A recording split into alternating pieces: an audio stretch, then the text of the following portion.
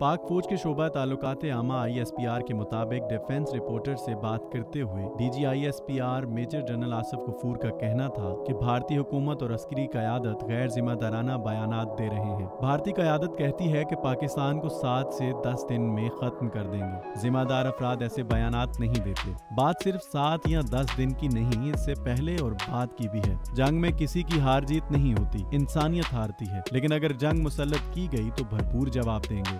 तर्जुमान पाक फौज ने कहा कि जो फौज इकहत्तर साल से 8 मिलियन कश्मीरियों को शिकस्त नहीं दे सकी, वो 207 मिलियन पाकिस्तानियों को कैसे शिकस्त दे सकती है? अफवाज असलहे के ज़ोर पर नहीं, जज्बा ईमानी और अवाम की हिमायत से लड़ती है और कोई दुनियावी ताकत एक मुतहद कौम को शिकस्त नहीं दे सकती। पहले भी कहा था, जंग शुरू आप करेंगे, खत्म हम करेंगे। पाकिस्तान और अफवाज पाकिस्तान हमेशा आपको सरप्राइज़ करेंगे। मेजर जनरल आसिफ गफूर का कहना था कि फरवरी 2019 में पाक भारत जंग दस्तक दे चुकी थी, लेकिन अफवाज पाकिस्तान की तैयारी और मौसर जवाब ने अमन का रास्ता हमवार किया। तीनों सर्विसेज़ ने अपने आप को काबिल फोर्स के तौर पर मनवाया। पाकिस्तानी क्यादत ने इस खतरे को आसन तरीके से निपटाया। जनरल कमर जावेद बाजवा की सुपीरियर मिलिट्री स्ट्रेटजी ने जनूबी एशिया को बहुत बड़ी तबाही से बचाया। डी जी ने कहा कि पाकिस्तानी सिविल और मिलिट्री लीडरशिप खत्े में अमन के ख्वाहा है। Army chief general Qamar Javed Bajwa की मिलिट्री डिप्लोमेसी ने अकवाम आलम में पाकिस्तान का मकाम बुलंद किया। कामयाब मिलिट्री डिप्लोमेसी ने खत्े में अमन के लिए पाकिस्तान के किरदार को नुमाया किया। इंडियन सिविल मिलिट्री लीडरशिप को भी खत्े में अमन की हिमायत का अंदाज़ा होना चाहिए। भारतीय लीडरशिप को चाहिए कि मकबूजा कश्मीर में जुल्म सितम को बंद करें। मकबूजा कश्मीर में लगी आग पूरे खत्े में फैल सकती है। दुनिया को भी इस खतरे का इदराक होना चाहिए। तर्जमान पाक फौज ने कहा कि army chief general Qamar Javed Bajwa ने पाकिस्तान की सलामती और तरक्की को हमेशा मुकदम रखा। बाजवा डॉक्ट्राइन मुल्क सलामती पर कोई भी समझौता किए बगैर मुल्क और खत्े में अमन लाना है। सरबरा पाक फौज ने ऑपरेशन शीर दिल से जरब अजब तक की कामयाबियों को रद्दुल फसाद के ज़रिए मुस्तहकम किया। रद्दुल फसाद सबसे मुश्किल ऑपरेशन और दायमी अमन के लिए अहम तरीन मरहला है। खत्े में अमन के लिए आर्मी चीफ के तारीखी इकदाम रहे।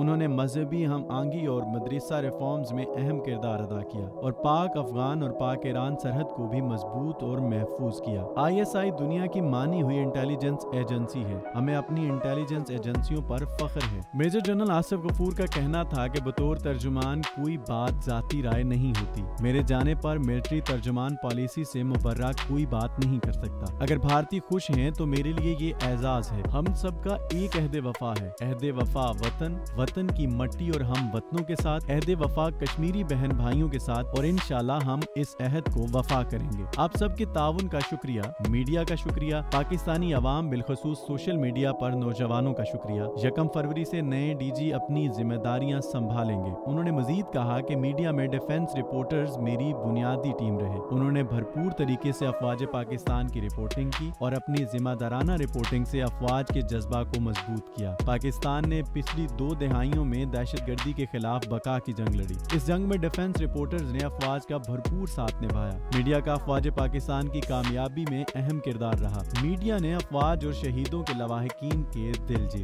करेगा अगर आपको हमारी वीडियो पसंद आई तो इसे लाइक करें, साथ ही साथ हमारे चैनल नाइन न्यूज़ एच को सब्सक्राइब करें और बेलाइकन पर लाजमी क्लिक करें ताकि हमारी लेटेस्ट अपडेट्स आपको बर वक्त मौसू हो सकें।